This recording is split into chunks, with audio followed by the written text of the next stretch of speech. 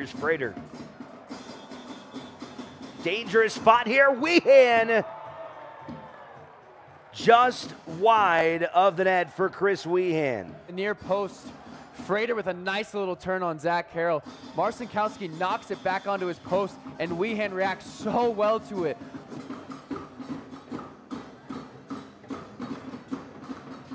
Here's a chance for Haji. Haji!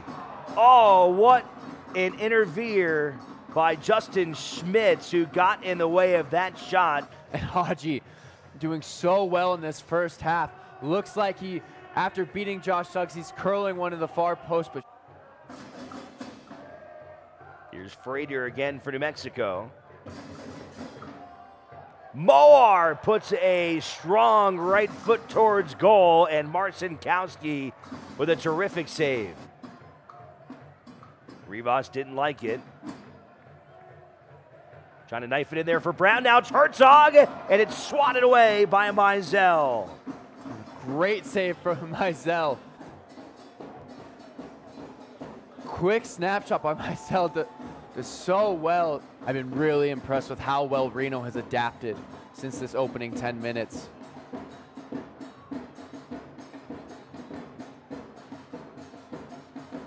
Another chance here for New Mexico, and they've got the equalizer. A streaking run from Josh Suggs. And, he, and we spoke about how Josh Suggs has been popping into the mid into the midfield as an inverted fullback. He carries the ball. No one steps to him. Everyone's worried about the runs. Interesting, and it allows him to have a different skill set. Here's Brian Brown. Brown turns with his left foot and swatted away by Mizell. A tough first half for both of these goalkeepers.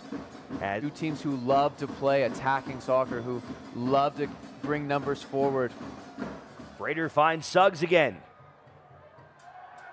Marcinkowski able to get his body in front of a right-footed strike from Frater. Poked away there by Hamilton. Now Mendiola. Herzog steps in and tries to connect with his left foot. Didn't have enough on it, and Mizell will fall on top of it.